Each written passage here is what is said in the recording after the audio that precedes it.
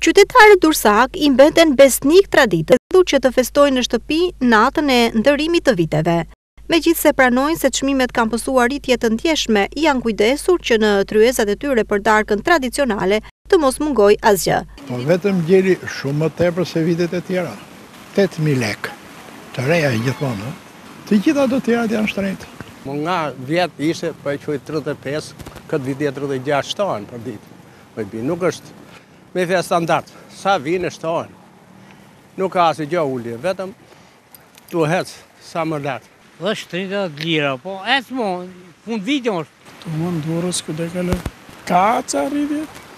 Me familjen në shtëpi, po. Me familjen. Jo, vjet kemi kemi dalë qytet. Si zakonisht në shtëpi.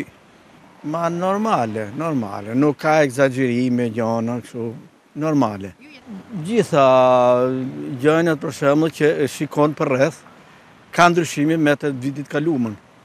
Nga ana tjetër operatorët turistikë shprehen se prenotimet kanë filluar që herët ku më të preferuarit mbeten lokalet përgjatë vijës bregdetare. Turistë të huaj, apo dhe familjarë dhe të rinj nga Tirana kanë zgjedhur baret dhe restorantet e qytetit bregdetar për të festuar këtë fundvit.